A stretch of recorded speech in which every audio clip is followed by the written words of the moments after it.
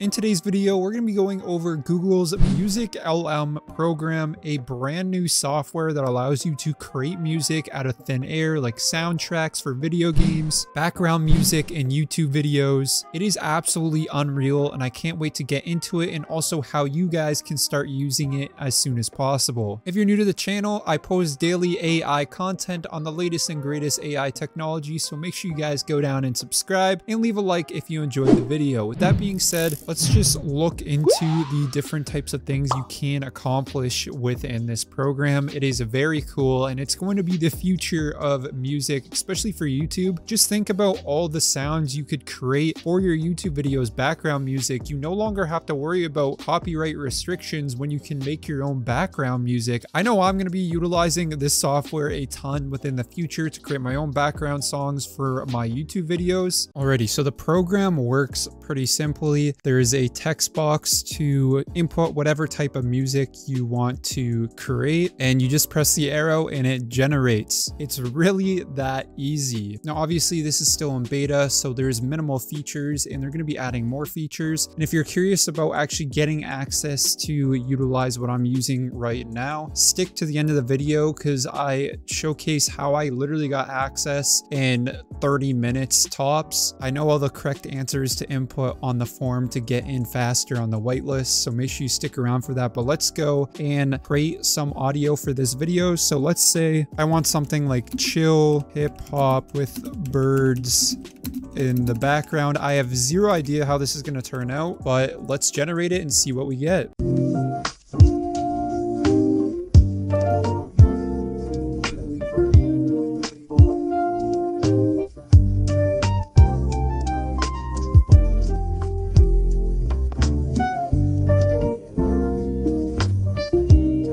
That was our first track, and I mean, that sounded pretty good. Although I didn't hear the birds in the background, it actually does give you two tracks to choose from. So let's play track number two and see if it's any better.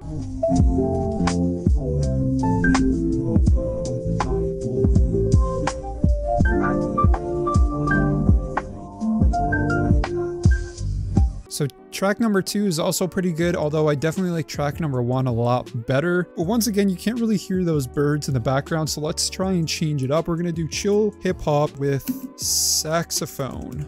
And let's see if we notice a difference with the saxophone integrated.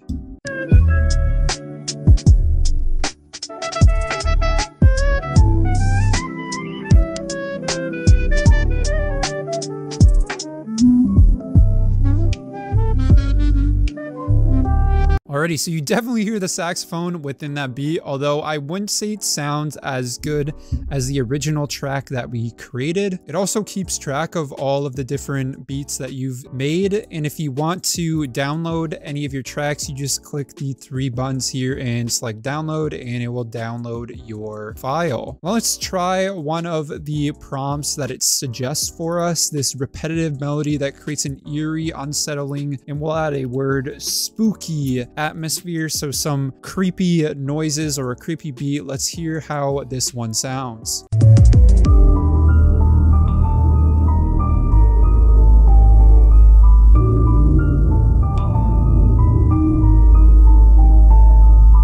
I mean, that sounds perfect for like a creepy horror YouTube video you're trying to make, maybe like a true crime using that audio. I could definitely see that being used in different types of YouTubers that make those like horror genre videos. Alrighty, we're gonna try out one more. Before I show you some other examples that other people have created, we're gonna do a rock and roll beat with heavy drums and screamo. So let's see what happens when we generate this. So I actually couldn't generate that prompt for whatever reason. It just was not letting me do that. So we are going to do reggae screamo. I have no idea what we're going to get, so let's listen in.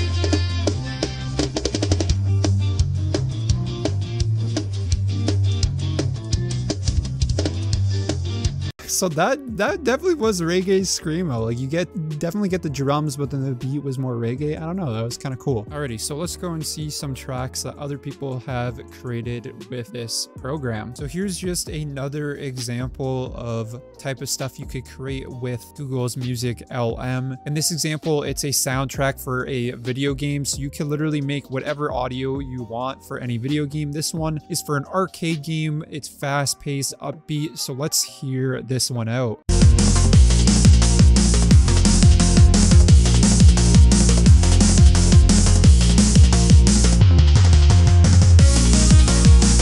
So that sounds like it could be in literally any video game. The audio quality is unreal, and especially for it being in beta, this is the worst it's going to be. Now here's another version. This is a lot different of music, so you can see the variation in music you can actually create. So let's let this one play out as well.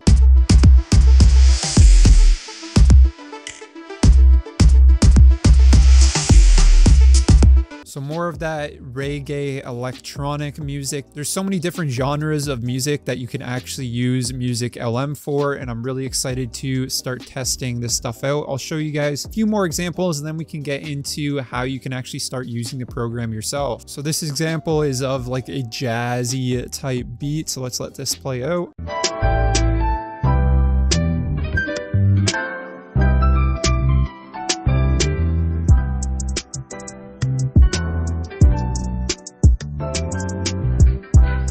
I mean, that sounds unreal. Obviously, it's not 100% perfect. There are some like distortions every once in a while in the audio, and the quality isn't studio quality yet. However, I would still use this within the backgrounds of my YouTube videos, and there's so many more use cases you'll be able to utilize this audio for. Now, here's just one more example. This is of like a New York pop beat, just showcasing how many different genres of music you can actually create. Unfortunately, right now, you can only do like beats, can actually add in voices that'd be pretty crazy, but I guarantee it's coming in the near future.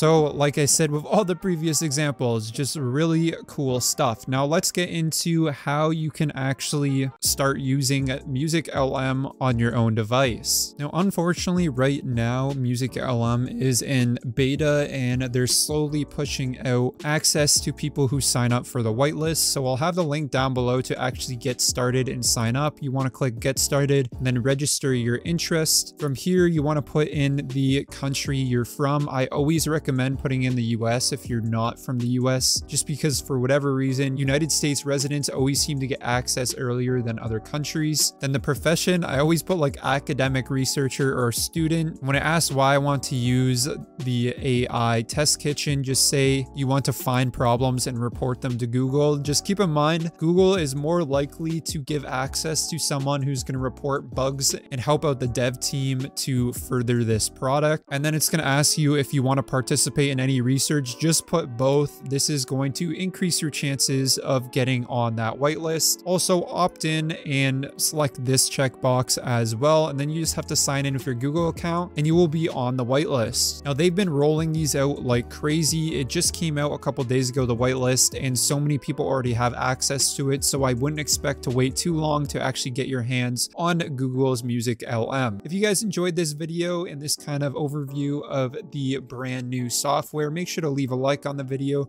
subscribe to the channel as I post daily AI content, and have yourselves a fantastic day.